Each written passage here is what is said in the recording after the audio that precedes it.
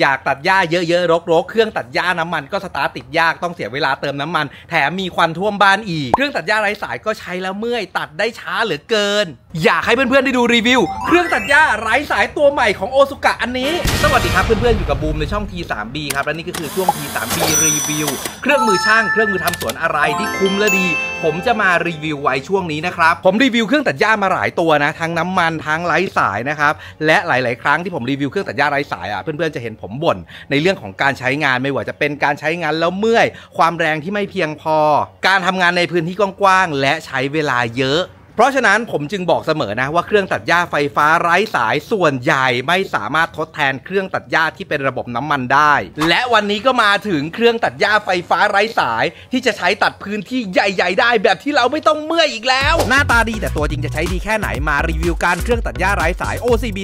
4511ของโอซุกะ ปกติเครื่องตัดหญ้าของโอซุกะนะครับ จะมาในซีรีส์ OCGT ก็คือเครื่องตัดหญ้าที่เราใช้ในบ้านนะ อย่างตัวที่เป็นใบพลาสติกตัวนี้ชอบมากนะสำหรับพื้นที่เล็กๆนะครับ เราสามารถใช้ตัดตกแต่งสวนได้ส่วนรุ่นที่ผมเพิ่งรีวิวไปคือ 406 กับ 407 ก็พื้นที่ใหญ่ขึ้นมาหน่อยหญ้าแข็งขึ้นมาอีกนิดนึง บ้านพื้นที่ประมาณ 100 ตารางเมตรนะครับ หรือ 1 งานนะ ก็พอจะใช้งานไหว 2 ตัวเนี้ยตัวหนึ่งจะเป็นแบบมีแปลงถ่าน และตัวหนึ่งก็จะเป็นแบบไร้แปลงถ่าน แต่ฟังก์ชันในการทำงานตอนที่ผมเปรียบเทียบอะสองตัวเนี้ยแทบไม่ค่อยแตกต่างกันครับ แต่นี่คือตัวที่ผมรอคอยครับ OCBC 511 แล้วต้องบอกทุกคนว่ารุ่นเนี้ยไม่ได้ราคาถูกเหมือนที่ผ่านๆมานะครับ เพราะตัวเครื่องเปล่าเนี่ยก็อยู่ที่4,000ละ ตัวเนี้ยให้แบตเตอรี่ก้อนใหญ่มาเลยนะ5 a m h นะครับเป็นแบตเตอรี่รุ่นใหม่ของโอซุกะ มีแท่นชาร์จมาให้เสร็จเรียบร้อย ใบตัดเนี่ยให้มา 2 แบบนะ เป็นใบตัดวงเดือนกับใบตัดพลาสติก ใบตัดในเซตที่ให้มานะครับก็จะเป็นใบตัดวงเดือนนะครับถ้าเพื่อนๆสังเกตใบตัดตัวนี้ขนาดก็จะใหญ่กว่าใบตัดวงเดือนของเครื่องตัดหญ้าไฟฟ้าทั่วไป ขอบกว้างออกมาจากเดิมนะครับอีกเกือบ 1 นิ้ว ตัวนี้มันคือขนาด 23 เซนซึ่งเป็นไซส์ของเครื่องตัดหญ้าน้ำมัน แล้วก็ใบตัดพลาสติกตัวนี้นะ ผมชอบมากเลยมาแบบใส่ง่ายอีกแล้วนะครับวิธีใส่คือเกี่ยวเข้าไปในร่องแล้วก็ดึงล็อกเลยครับตัวนี้เราจะใส่ใบตัดแค่ 2 อันนะครับแล้วตัวใบตัดนะครับมันจะไม่ได้ fix ล็อกอยู่แบบเป็นใบแข็งๆนะเนี่ยมันจะหมุนนี้เห็นไหม ส่วนนี้คือตัวเครื่องนะครับ เดี๋ยววิดีโอนี้จะบอกวิธีประกอบตัวเครื่องให้ด้วยนะครับ ทีนี้ตัวเครื่องนะครับ รุ่นนี้เขาแยกเครื่องมาเป็น 2 ท่อน อย่างแรกนะครับ ก่อนประกอบด้ามเข้าไปนะครับ เราจะต้องใส่ตัวกาดเข้าไปก่อนครับ ผมก็จะคลายน็อตให้หลวมนะครับ แล้วก็ใส่กาดลงไปนะครับ กับตัวก้านตรงๆแบบนี้เลยนะอะตัวกาดบางใบนะครับ ก็จะอยู่ในท่านี้เพื่อนๆเห็นไหมมันจะมีปลั๊กสามขาอยู่ด้านในนะครับ ก่อนประกอบเข้าไปนะ ให้เราปลดคันโยกตัวนี้ก่อนเนาะ แล้วตอนนี้ไม่ต้องไปเล็งแล้วนะว่าแบบปลั๊กจะตรงหรือเปล่านะครับเขาจะมีร่องอยู่ด้านล่างตรงนี้เลยนะ เราใส่ให้ตรงร่องก็พอพอเราเสียบเข้าไปเสร็จนะ เราก็กดล็อกแบบนี้นะครับตัวก้านคือจะล็อกแน่นเลยนะ ทีนี้นะครับ สมมุติว่าเราเผลอเนาะไปดันตัวนี้หลุดออกมานะครับ ด้ามจะหลุดไหมออกแรงดึงยังไงนะครับ ตัวด้ามก็ไม่หลุดนะ เพราะว่าเขามีปุ่ม safety ตรงนี้นะครับ เราจะต้องกดกดล็อกก่อนนะ กดตรงนี้ปุ๊บนะครับ แล้วก็ดึง นี่ถึงจะหลุดนะ ตรงนี้จะเป็นตุ๊กตาแฮนด์นะครับสำหรับใส่ด้ามจับนะครับ ด้ามจับตัวนี้จะเป็นแฮนด์เหมือนแฮนด์มอเตอร์ไซค์นะทีนี้นะครับเวลาเราเปิดตัวนี้เราไม่จำเป็นจะต้องแบบขันน็อตออกมานะครับ จนถอดออกมาทั้งอันนะ ขันให้หลวมนะครับ แล้วก็ให้ช่องตรงนี้มันเปิดได้กว้างก็พออะจากนั้นนะครับเราก็เอาตัวแฮนด์ใส่เข้าไปได้เลยนะพอใส่ไปนะครับถึงร่องเขาพอดีเนี่ยมันจะหลวมๆแบบนี้นะพอใส่แฮนด์เข้าไปทั้งสองข้างนะครับ เราก็ ขันน็อตเข้าไปนะ ตอนนี้เรายังไม่ต้องขันแน่นก็ได้ปกตินะครับ ถ้าจับแฮนด์เครื่องตัดหญ้านะครับ เราก็จะยกขึ้นมานะครับตั้งๆแบบนี้นะ แต่อันเนี้ยอาจจะอยู่ที่ความถนัดนะครับ เราไปปรับองศามุมต่างๆนะครับ ที่เราถือแล้วถนัดได้อีกทีหนึ่งตัวนี้นะครับท้ายแบตเขาอะกล่องแบตเขาจะอยู่ท้ายไกลมากเลยนะ เพราะว่าอย่างที่ผมเคยบ่นไปนะครับ เครื่องตัดหญ้าไร้สายส่วนใหญ่อะ ท้ายแบตนะครับมันอยู่ใกล้มือใกล้ตัวเราเนาะเพราะฉะนั้นเวลาตัดเนี่ยเราเหมือนเรายกแบตเตอรี่ไว้ตลอดเวลาด้วยมือข้างเดียวอะข้อดีของรุ่นนี้นะคือท้ายแบตออกมาด้านหลังนะแล้วก็ห่างมากนะครับแล้วนี่เห็นไหมมี cover cover นะครับกันน้ำกันน้ำให้เราด้วย ทีนี้พอแบตมันห่างนะครับเวลาเราจับเนี่ยน้ำหนักแบตมันไปข้างหลังนะครับมันทำให้การตัดของเรา balance แล้วมันไม่เมื่อย และตรงนี้นะครับก็จะเป็นหัวนะครับข้างในเป็นมอเตอร์นะตัวนี้เป็นมอเตอร์ brushless ไร้แปรงถ่านนะครับแล้วก็เพื่อนๆดูครับ การปิดหัวทุกอย่างนะครับ ปิดแบบแทบจะสนิทหมดเลยนะ หมายความว่าเวลาที่เราตัดพื้นที่ที่อาจจะแบบมีน้ำค้างบนยอดหญ้าอะไรอย่างเงี้ย น้ำและความชื้นนะครับ ก็จะไม่เข้าไปนะครับ ลดการเสียหายของมอเตอร์ได้ ต่อไปเป็นวิธีใส่ใบนะครับกันเพื่อนๆงงนะ ตอนที่เราได้เครื่องมาเนี่ยเห็นไหมตัวหัวเฟืองเนี่ยมันจะติดกันมาแบบนี้เลยนะ ให้เราแกะมันออกนะครับนี่เห็นไหมนี่แกะออกมาเป็นสองชิ้นแบบนี้อ่าตัวแป้นหน้าตาแบบนี้นะ ให้เราวางกลับไปครับ เนาะด้านเนี้ยเพื่อนๆจะเห็นว่ามันเป็นวงรับตัวใบตัดอยู่เนาะใบตัดใส่ให้ถูกข้างนะครับ หลังจากนั้นนะครับให้เอาตัวประกบนะครับ มาประกบเข้าด้านบน แล้วก็ทำการขันน็อตลงไปฮะให้เราหกเหลี่ยมนะครับแทงเข้าไปในรูนะครับ แล้วหมุน หมุนนะครับ จนกว่าหกเหลี่ยมจะเข้าไปในร่อง แล้วก็จับไว้อย่างนี้นี่เราก็ขันน็อตประกบเข้าไปให้แน่นนะครับบอกเผื่อไว้นะครับ เพื่อนๆที่เป็นมือใหม่ใช้ครั้งแรกอาจจะไม่ทราบจริงๆนะครับน็อตเนี่ยเขาจะมีบูทกันคลายนะครับ เพราะฉะนั้นการขันครั้งแรกเนี่ยจะฝืดๆหน่อยให้เราขันลงไปจนสุดนะครับรุ่นนี้จะมีสวิตช์นะครับเป็น safety นะถ้าเกิดเราเอามือไปกดปุ่มนะครับเห็นไหม เครื่องมันจะไม่ทำงานนะครับปล่อยให้เรากด safe แล้วก็จะไม่ทำงานนะ ให้เรากดปุ่มด้านบนนะครับ ตรงนี้ทำการเปิดเครื่องก่อน จะมีไฟสีเขียวขึ้นมานะครับ ตรงนี้สามารถปรับความเร็วรอบได้2ระดับนะ ก็คืออันนี้เป็นระดับเบาสุดนะครับ แล้วก็เป็นระดับแรงนะครับ จะขึ้นเป็นไฟ 2 เม็ดแบบนี้อะอะให้ดูความแรงของใบ ทุกคนครับ มันทั้งเงียบทั้งแรง เดี๋ยวผมลองปรับให้แรงขึ้นเป็นเบอร์ 2 นะ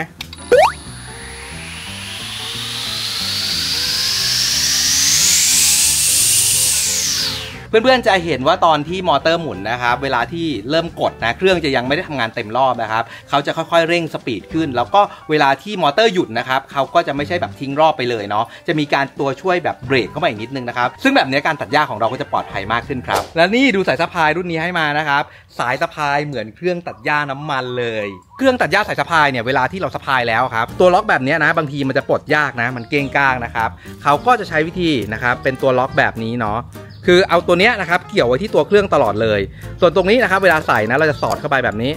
เนาะแล้วก็อะอย่างนี้นะครับมันก็จะอยู่เนาะทีนี้เวลาฉุกเฉินนะ ถ้าเราต้องการปลดแบบด่วนๆเลย เรากระตุกตรงเนี้ยเห็นไหม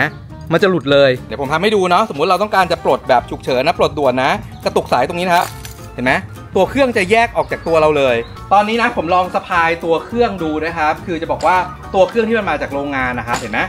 balance มันทิ้งน้ำหนักไปข้างหน้านะครับบางคนอาจจะถนัดแบบแบบนี้ก็ได้นะ แต่ผมอยากให้มันไปข้างหลังอีกหน่อยหนึ่งนะครับ ผมก็จะทำการปรับแต่งนะครับ เพราะแต่ละคนความสูงไม่เท่ากันเนาะ เพราะฉะนั้นเนี่ยเราอาจจะต้องปรับแต่งระยะนิดนึง เครื่องตัดหญ้าทรงแบบนี้นะเขาจะไม่มีปรับด้ามสั้นยาวนะครับ เราจะทำการปรับแต่งที่ตัวตุ๊กตาแฮนด์เนาะ เพราะว่าตัวสายเนี่ยเห็นไหมสายเนี่ยเขาทิ้งมาให้เราเผื่อแล้วนะสั้นยาวได้นะครับทีนี้เราก็ดูนะครับเช็ค balance ของเราว่าระยะตัดของเราเนี่ยเครื่องมันควรจะไปข้างหลังประมาณไหน อันนี้แล้วแต่เลยนะครับ แต่ละคนระยะไม่เท่ากันนะอะนี่ ระยะนี้ผมว่าของผมโอเคละโหขยับลงมาเยอะเหมือนกัน ทีนี้เวลาเราปรับแต่งเครื่องตัดหญ้านะอาจจะแล้วแต่ความถนัดด้วยนะครับ แต่ว่าเวลาเราออกแรงอะเราจะต้องไม่ออกแรงยกเยอะนะ ไม่ใช่แบบ ฮึบขึ้นมาอย่างนี้ทั้งอันนะครับ เครื่องตัดหญ้าน้ำหนักมันจะอยู่บนสายสะพายนะครับ แล้วเราแค่ยกนิดเดียวเองเห็นไหมเนี่ยผมใช้นิ้วนิ้วนิ้วสองนิ้วยกปุ๊บเห็นไหมเครื่องมันจะเงยหัวขึ้นมาเลยเนาะเพราะเวลาเราใช้งานนะครับ เราจะทิ้งน้ำหนักนะครับ แล้วเราก็จะเหวี่ยงไปเหวี่ยงมานะครับน้ำหนักมันจะอยู่บนไหล่เลย เราแช่แค่แฮนด์เนี่ย ประคองซ้ายขวาซ้ายขวาแค่นี้เองเห็นไหมทีนี้ถ้ามันยาวเกินไปเนี่ยเมื่อกี้อย่างมันยาวเกินไปอย่างเงี้ยมันจะเหมือนเอื้อมตัดนะครับหรือว่าถ้ามันสั้นเกินไปนะครับ เราก็จะต้องย่อตัด แล้วตอนนี้นะครับเครื่องตัดหญ้าเราก็พร้อมใช้งานนะครับเดี๋ยวเราไปทดสอบการใช้งานกันเลยดีกว่า จริงๆผมตั้งใจว่าจะใช้กับใบตัดพลาสติกเป็นหลักนะ แต่เดี๋ยวผมลองไว้ตัดวงเดือนดูก่อนนะเดี๋ยวเปิดเบาๆดูนนะครับ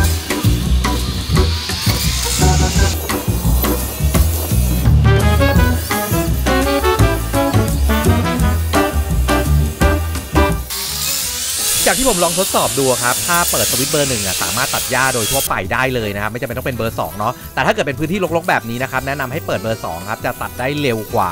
คือถ้าเป็นที่รกๆนั้นเราเปิดเบอร์หนึ่งเนี่ยใบจะติดครับแล้วมอเตอร์มันก็จะหยุดทำงาน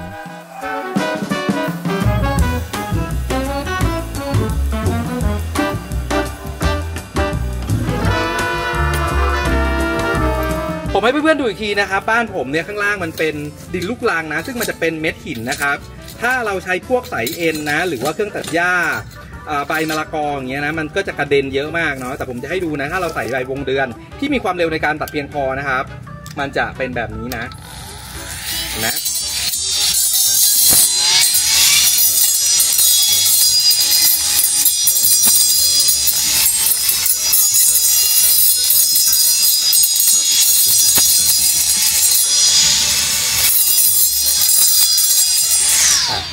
พื่อนๆเห็นไหมครับว่าเราตัดได้ชิดโดยที่หินมันไม่กระเด็นเลย อีกอย่างหนึ่งนะครับ เวลาที่เราใช้งานอยู่นะครับ สมมติว่าเรากดอยู่ที่ในตัวรอบต่ำเนาะอ่าแล้วเราอยากเร่ง speed นะครับ เราสามารถกดที่ปุ่มความเร็วเนี่ยมันเร่ง speed ได้เลยนะครับแล้วเราก็ลด speed ได้ด้วย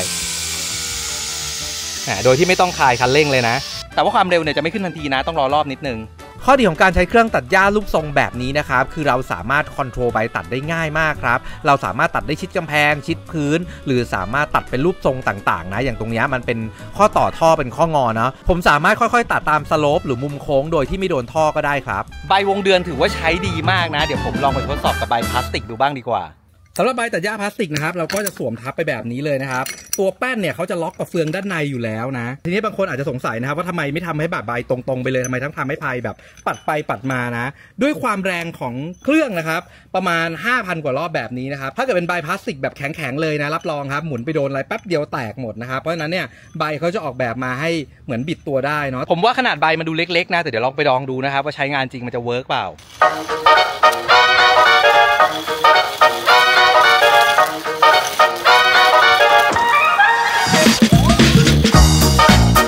ผมลองเปิดเบอร์หนึ่งดูนะครับ แต่สังเกตครับว่ามันไม่มีแรงตัดเลย ผมก็เลยเร่งสปีดขึ้นมาเป็นเบอร์ 2 ดู จากความรู้สึกของผมอะคือมันตัดช้ามากเลยครับ ถ้าเกิดเทียบกับใบวงเดือน ถามว่าใช้ได้ไหมนะครับ ต้องบอกว่ามันจะใช้ได้เหมือนกันนะ แต่ถ้าถามว่า เทียบกับใบวงเดือนที่เป็นใบเหล็กอะใบเหล็กดีกว่านะครับคือตัวนี้พอตอนที่ตัดนะครับรู้สึกว่ามันเหนื่อยเหนื่อยฝืนๆยังไงก็ไม่รู้เนาะขนาดแบบเปิดแรงสุดนะครับก็รู้สึกว่าตัดช้าอยู่เลยอะอาจจะเป็นเพราะว่าใบอะพอมารวมกันแล้วแบบใบมันมีขนาดเล็กนะครับพื้นที่มันน้อยลง ผมมาลองตรงนี้บ้างดีกว่านะ ตรงนี้มันจะเป็นดินลูกลังนะครับปกติมันจะตัดค่อนข้างยากเลยนะ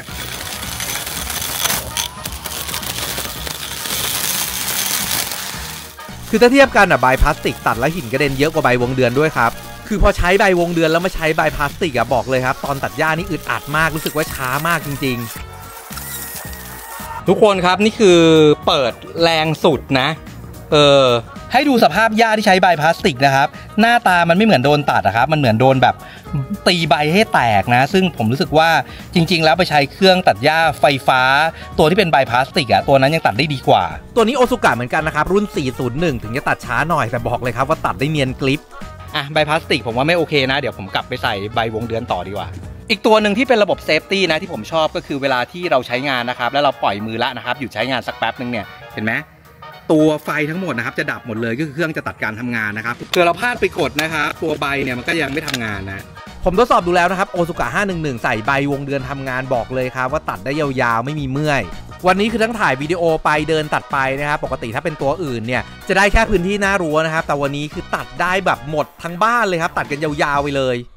ต้องบอกทุกคนว่าวันนี้เป็นหนึ่งวันที่ผมตัดหญ้าไปเยอะมาก แต่ว่าผมไม่เหนื่อยเลย ก็ทดสอบการใช้งานกันไปเรียบร้อยนะครับ กับโอซุกะ511 นะ เชื่อว่าเป็นเครื่องตัดหญ้าไฟฟ้าไร้สายที่หลายคนรอคอยกันจริง ๆ นะครับสำหรับเพื่อนๆที่ดูรีวิวจบแล้วอยากได้ผมใส่ลิงก์ไว้ใต้คลิปวิดีโอนะครับแต่เดี๋ยวก่อนที่จะไปกดซื้อนะครับผมจะมาพูดถึงข้อดีข้อเสียกันก่อนนะครับว่าเครื่องตัดหญ้าไร้สายตัวนี้เนี่ยเป็นยังไงแล้วเหมาะกับใครสำหรับเพื่อนๆที่ใช้เครื่องตัดหญ้าไร้สายมาหลายยี่ห้อแล้วรู้สึกว่ามันยังไม่แรงมันยังไม่ตอบโจทย์ใช้แล้วเมื่อยตัดกิ่งไม้ตัดหญ้ารกๆไม่ได้ ซื้อแรงแค่ไหนมันก็ยังไม่พอ ผมอยากให้ลองตัวนี้เพราะตัวนี้เนี่ยมันแรงจริง ๆ คือพวกกิ่งไม้ต่างๆนะครับสามารถตัดผ่านไปได้เลยนะ ส่วนไม้ท่อนใหญ่ๆนะครับฟันเข้านะ แต่ถ้าเกิดมันท่อนใหญ่มากๆเนี่ยมันก็ไม่ขาด ความเร็วในการตัดถือว่าดี น้ำหนักถ้าไปเทียบกับเครื่องตัดหญ้าแบบน้ำมันถือว่าเบามาก และดีกว่าเครื่องตัดหญ้าน้ำมันเพราะว่าเราไม่ต้องมามัวสตาร์ทให้เสียเวลา คือเครื่องน้ำมันเนี่ยถ้าเป็น 2 จังหวะเนี่ยเราต้องเป็นดึงสตาร์ทเนาะแต่ 4 จังหวะมันก็จะมีรุ่นที่สตาร์ทมือนะครับซึ่งราคามันก็จะแพงขึ้นด้วย การทำงานระยะยาวๆสเปคเครื่องเขาบอกว่า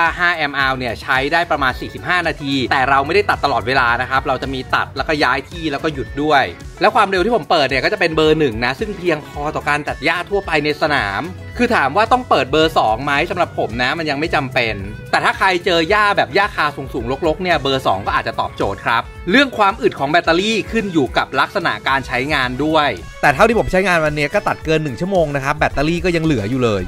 เรื่องตัว body การต่อการประกอบโครงสร้างความเร็วมอเตอร์ ผมถือว่าดีมากๆ อุปกรณ์ที่แถมให้มาตัวใบวงเดือนเนี่ยถือว่าใช้งานได้ ตัวสวิตช์แล้วก็ปุ่ม safety ต่างๆนะครับรวมถึงการทำงานเนี่ยออกมาได้ดี อันนั้นนะคือส่วนที่ผมชอบนะ ทีนี้มาดูส่วนที่ผมไม่ชอบบ้าง อย่างแรกก็คือเรื่อง balance นะครับสำหรับใครที่เคยใช้เครื่องน้ำมันมาก่อนจะเป็น 1 จังหวะหรือ 2 จังหวะก็ตามนะครับจะรู้ว่าเครื่องพวกนั้นเนี่ยเวลาเราถือนะมัน balance มากๆนะแต่สำหรับเจ้าตัวนี้นะผมจะต้องบอกว่าน้ำหนักมันค่อนข้างเบาครับดังนั้นอะเวลาที่เราปรับ balance ได้ศูนย์ถ่วงตรงกลางแล้วนะ เวลาเหวี่ยงอะมันจะ feel ไม่เหมือนเครื่องน้ำมันครับยังไงก็ไม่เหมือนเครื่องน้ำมันเนี่ยมันจะหนักหัวหนักท้ายเวลาเราเหวี่ยงเนี่ยมันจะเหมือนลูกตุ้มนาฬิกานะแต่ตัวเนี้ยน้ำหนักมันเบาครับเวลาเราเหวี่ยงอะมันเหมือนเหวี่ยงแฮนด์เปล่า คือถามว่าเบาแล้วดีไหมเบาแล้วมันก็็ดีแหละ แต่ feel ตัดอะมันไม่เหมือนเครื่องน้ำมันจริง ๆ เพราะฉะนั้นถ้าใครกำลังคาดหวังว่าเอาเครื่องไฟฟ้าแล้วจะได้ feel ตัดเหมือนเครื่องน้ำมันบอกเลยครับว่ามันไม่ใช่ เรื่องความเร็วรอบผมไม่ได้มีปัญหา แต่ผมรู้สึกว่าผมหงุดหงิดกับการต่อรอบ หมายความว่าเวลาที่เรากดปล่อยกดปล่อยเนี่ยเวลาที่ผมปล่อยมือแล้วกลับมากดปุ่มใหม่เนี่ยเครื่องอะมันจะไม่ทำงานต่อเนื่องครับมันจะเหมือนแบบอืดกลับไปสตาร์ทใหม่อีกทีหนึ่งคือจากที่ผมใช้เครื่องน้ำมันอะมันสามารถเบิ้ลเบิ้ลเบิ้ลอย่างนี้ได้เนาะแต่ตัวนี้มันทำไม่ได้ ก็แล้วแต่นะบางคนอาจจะชอบ feel แบบกดแช่ไปเลยก็จะไม่มีปัญหานะ แต่ถ้าใครชอบแบบกดปล่อยกดปล่อยแบบที่ผมทำอะตัวเนี้ยหงุดหงิดหน้าดูเลย แต่ถ้าใครอยากใช้ก็ต้องปรับตัวกันไปนะครับสำหรับใบตัดพลาสติกผมเคยชมเชยเลยนะว่าโอสุกะ401 ออกแบบใบตัดพลาสติกออกมาได้ดีมากๆนะครับเป็นดีที่สุดในใบตัดพลาสติกที่ผมเคยใช้มาเลยเนาะแต่กับตัว 511 นะครับใบตัดพลาสติกที่เขาออกแบบมาตัวเนี้ยคือถามว่ามันใช้ได้ไหมมันใช้ได้แต่ว่า มันยังทำงานได้ไม่ดีขนาดนั้นอะการเปลี่ยนใบต่างๆ ผมชื่นชมนะเขาออกแบบมาได้ดีมาก พอรอบมันสูงอะผมเข้าใจว่าเขาออกแบบใบพลาสติกให้หนานะครับเพื่อมันจะได้ไม่หักง่ายนะใบมันหนาแล้วมันสั้นนะ เวลาไปตัดอะมันใช้พื้นที่ในการมาตัดดูดิพื้นที่ในการตัดมันเล็กมากอะถ้าเทียบกับใบวงเดือนนะ เส้นผ่าศูนย์กลางอะเล็กกว่าเกือบ 2 นิ้วเลย มันจึงทำให้ใบตัวนี้ตัดได้ช้า แล้วจากที่ใช้งานนะครับเวลาที่มอเตอร์หมุน มันตัดไม่ทันใจจริง ๆ เพราะฉะนั้นใครคาดหวังกับใบตัดพลาสติกตัวนี้ ผมจะบอกเลยว่าไม่ work แล้วสรุปถามว่าตัวนี้ซื้อคุ้มไหมใช้แล้วดีไหมผมบอกว่าคุ้มมากนะครับ เอาตรงๆ คือถ้าเกิดมันมีเครื่องตัดหญ้าตัวนี้มาตั้งนานแล้วนะ ผมเชื่อว่าเพื่อนๆอาจจะไม่ได้เห็นผมรีวิวเครื่องตัดหญ้าตัวอื่นเลยก็ได้ ใครมีพื้นที่บ้านที่แบบเป็นหญ้ารกๆนะครับหรือบ้านที่แบบมีพื้นที่สวนระดับกลางๆนะครับสักประมาณ 100ตารางเมตรนะ ตัวนี้สบายเลยตอบโจทย์มากๆ แต่ถ้าเกิดใครจะเอาไปใช้ในสวนเกษตรขนาดใหญ่แบบล่าหญ้ารกหรือว่าไปรับจ้างตัดหญ้าเยอะๆเลย ผมก็ยังคิดว่าเครื่องน้ำมันอาจจะตอบโจทย์มากกว่านะครับรีวิวให้ดูแล้วนะครับพูดถึงข้อดีข้อเสียที่ผมเจอแล้วนะครับสำหรับเพื่อนๆนะครับที่จะตัดสินใจซื้อเงินในกระเป๋าเพื่อนๆครับลองดูรีวิวให้จบ แล้วก็ดูรีวิวเพื่อนๆหลายๆคนนะครับแล้วลองตัดสินใจดูนะครับว่าเครื่องตัดหญ้าแบบนี้เหมาะกับเราหรือเปล่า และถ้าเพื่อนๆอยากดูรีวิวอุปกรณ์ gadget ต่างๆ เครื่องมือช่าง เครื่องมือการเกษตร เครื่องตัดหญ้าแบบนี้นะครับ เพื่อนๆ กดติดตามไว้เลยหลายคนนะครับ ดูผมอยู่ แต่ยังไม่ได้กดติดตามฝากกดติดตามด้วยนะครับ เป็นกำลังใจผม พาผมไปยอด 8 0 0แสน subscribe อย่าลืมตาม TikTokไลน์ออฟฟิเชียลแล้วก็เฟซบุ๊กแฟนเพจด้วยนะครับ วันนี้ไปก่อนครับกดไลค์แชร์กันไป